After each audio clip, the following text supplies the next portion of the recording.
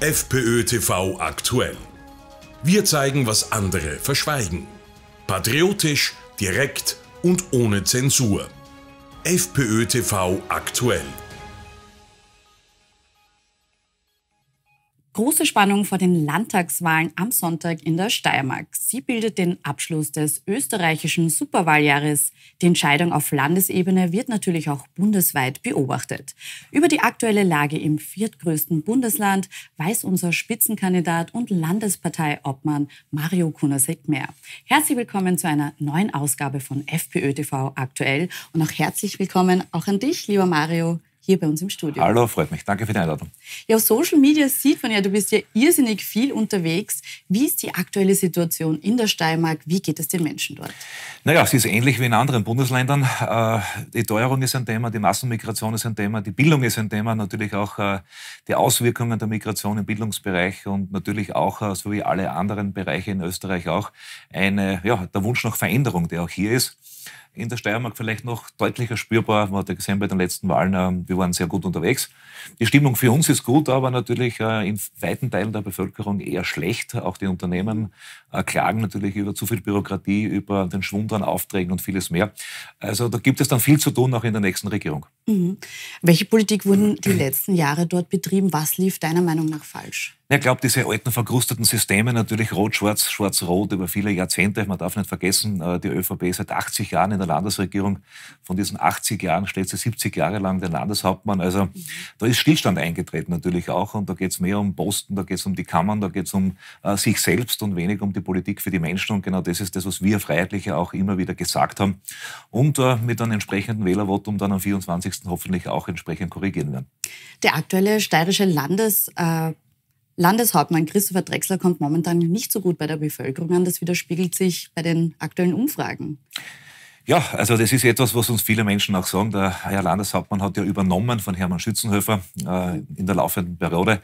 Ja, er ist vielleicht nicht der, der volksnahe, bürgernahe Mensch und das spürt man und merkt man natürlich auch. Und ich sage schon, ein Landeshauptmann muss natürlich Politik machen, keine Frage, aber er muss auch bei den Menschen sein. Und genau das, glaube ich, haben wir in den letzten Jahren wirklich auch vorgezeigt. Wir haben auch äh, immer wieder äh, darauf hingewiesen, dass man nicht Politik machen kann, ohne das Ohr beim Bürger zu haben. Äh, und äh, sollte ich Landeshauptmann werden, und das Ziel ist ja da, dann glaube ich schon, dass man das auch tun muss und auch soll und auch gerne tun muss. Und ich glaube, das ist auch der Unterschied Drechsler, Kunasek, ich bin gern bei den Leuten draußen, ich bin gern unterwegs. Manchmal auch zu lange vielleicht, würde meine Frau sagen. Aber ohne dem geht es halt leider nicht. Ja, da kommen wir gleich zur nächsten Frage. Was ist dein Wahlziel und wie sieht dein Wahlprogramm aus? Ja, wir haben uns ein äh, gutes Wahlprogramm zurechtgelegt mit 33 Kapiteln. Also etwas, wo die anderen äh, nur in Überschriften bleiben, äh, sind wir sehr konkret. Mhm. Das heißt, wir wollen zum einen mehr Gerechtigkeit für die Steirer sicherstellen. Stichwort Sozialunterstützung für Asylanten. Wir haben hier errechnet und auch bei Anfragebeantwortungen erfahren, dass es möglich ist, mit drei Kindern, also Asylantenfamilien, noch nie einen Euro eingezahlt ins System, bis zu 3.360 Euro netto zu bekommen. Ähm, das ist schon auch gegenüber den hart arbeitenden äh, Menschen in unserem Land unfair. Äh, also da soll man Familie mal zeigen, wie das geht, wenn der Papa arbeiten geht, wenn die Mama noch vielleicht irgendwo geringfügig ist, wo man die mhm. Kinder betreuen muss, vielleicht zwei Autos braucht und vieles mehr. Dann gibt es hier Ungerechtigkeiten und die wollen wir entsprechend auch abstellen. Mhm. Ja, und sonst natürlich das große Thema der Migration insgesamt, des Islamismus. Äh, die Steiermark ist leider ein so ein Bereich, ein Hotspot auch des Islamismus und da sind eben 33 Kapitel breit gefächert von der Arbeitsmarktpolitik bis zur Umwelt, wo wir auch Antworten haben. Ja, und das Ziel äh, hätte man vor ein paar Jahren nicht gedacht, dass ich das jemals sagen werde, ist natürlich der erste Platz.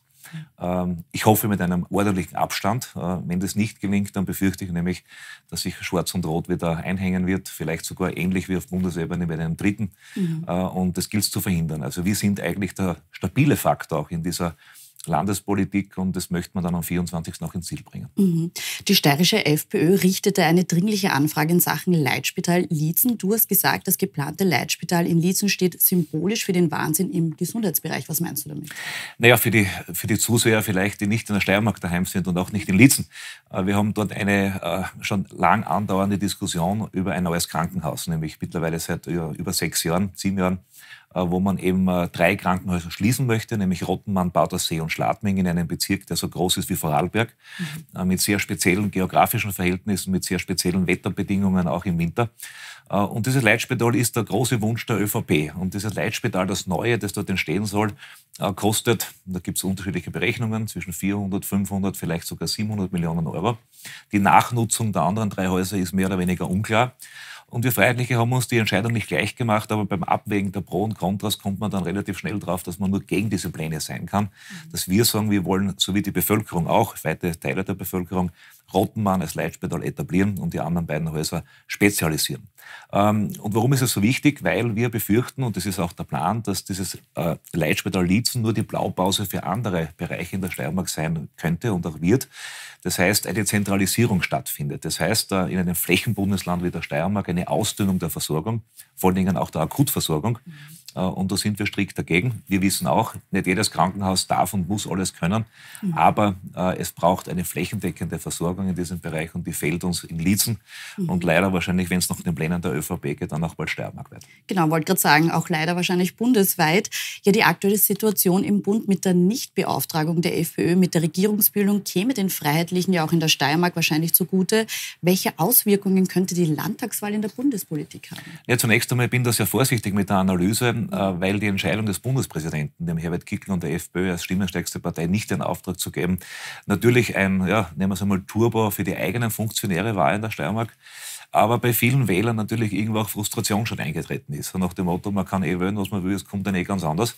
Also das ist schon etwas, wo man sagen muss, wenn jemand Veränderung möchte in der Steiermark, dann muss er am 24. noch zur Wahl gehen und die Freiheitliche Partei wählen. Mhm. Was können wir tun? Ich glaube, bei einem äh, sehr guten Erfolg der Freiheitlichen Partei bleibt auch bundespolitisch äh, das eine oder andere oder wird, wird anders werden. Warum?